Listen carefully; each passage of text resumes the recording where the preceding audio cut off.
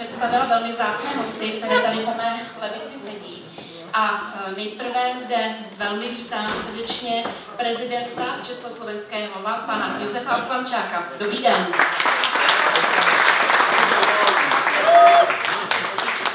Mezi nás také zavítal i viceprezident e, našeho týmu, a to je pan Libor Petru. Dobrý den.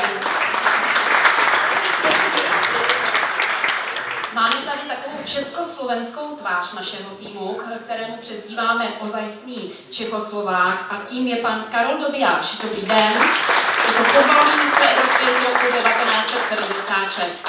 Vás ale jistě, dámy a pánové, bude také zajímat, kdože povede naše jednotlivé týmy. Tak prvním z nich je československý zápasník a bronzový medailista z olympijských her z roku 1988, pan Josef Lohyňa. Dobrý den. Dodávat, že to je kapitán slovenského týmu, no ale Češi se také nedají zahambit, také tady máme své ESO v rukávu a tím je československý reprezentant a fotbalista z roku 1991, pan Tomáš Skuhravý. Dobrý den. V prvom rade vítajte všetci tuto penzioní Kalinka.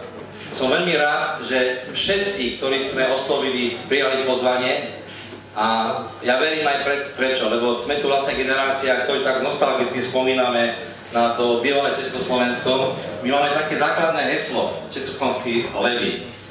To, čo v minulosti policii rozdelili, my, Československý levy, v súčasnosti budeme spájať. A myslím si, že dneska práve tá chvíľa, keď sme spojili Slovensko s Českom cez šport a showbiznis pretože to je náš zásadný, zásadná, zásadný cieľ. My už tie republiky dokopy nedáme, ale aspoň sa budeme stretávať ako športovci, herci, speváci, showmeni, zábavači a to je základný cieľ.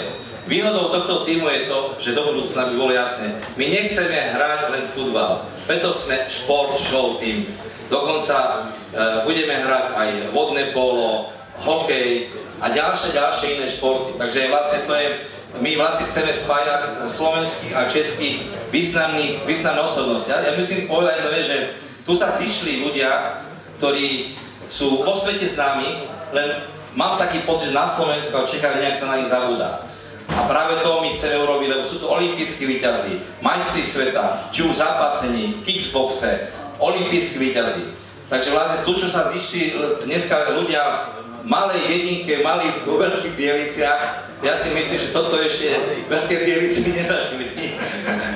Eh, my s Joškem jsme se dali dohromady proto, protože eh, nás baví sport, umění, eh, to nás spája, jak hovoril, takže proto jsme se dali dohromady. Samozřejmě, jak říkal Joško, my už to dohromady nedáme, ale díky za každého jednotlivce, který se k nám přidá, no, protože těch blbců na pasika bylo hodně, díky.